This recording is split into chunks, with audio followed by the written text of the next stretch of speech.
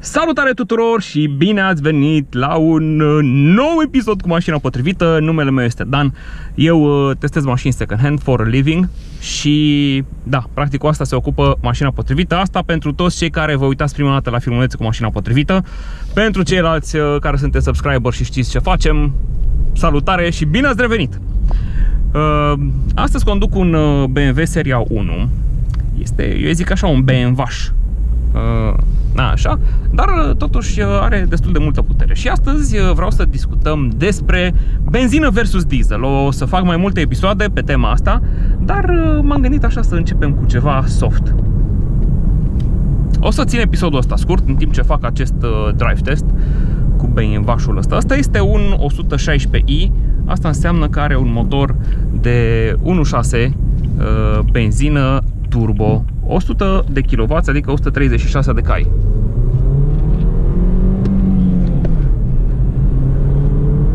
Se mișcă decent, dar nu este cel mai rapid BMW din lume, dar se mișcă decent, adică mi se pare în regulă, așa, acest uh, BMW.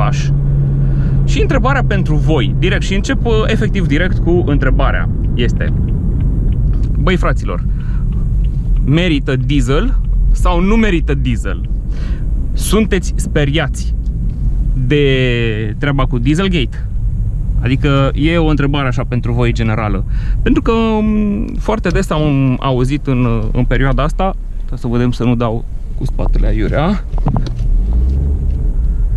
În perioada asta foarte des am auzit oameni care oarecum sunt speriați de ideea asta. Băi, o să se interzică dieselul în România? Și am vrut să vă întreb pe voi uh, întâi și să vă gândiți la chestia asta. V-ați cumpăra un diesel? Nu v-ați cumpăra un diesel?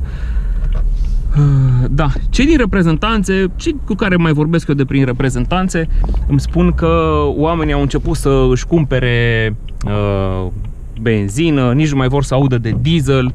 Uh, a intrat ASP-ul, nu m-a lăsat să târș, să învârt roțile. Da, și uh, nu știu ce să zic. Mie nu mi se pare așa ceva wow, adică românii nu par speriați de chestia asta. Uh, știți mai multe? Uh, eu, de exemplu, am stat să mă informez, cred că am petrecut uh, 12 ore până acum citind articole uh, despre scandalul diesel provocat de producătorii diesel, dar în special de Audi și o să, o să fac un episod dedicat pe, pe tema asta cu ce a făcut Audi între timp BMW-ul ăsta merge bine, dar doar care cauciucuri de uh, iarnă.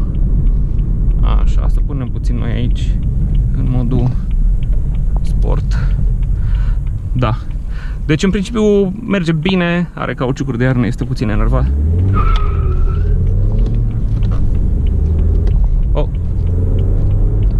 Am crezut acolo că e că sunt două benzi.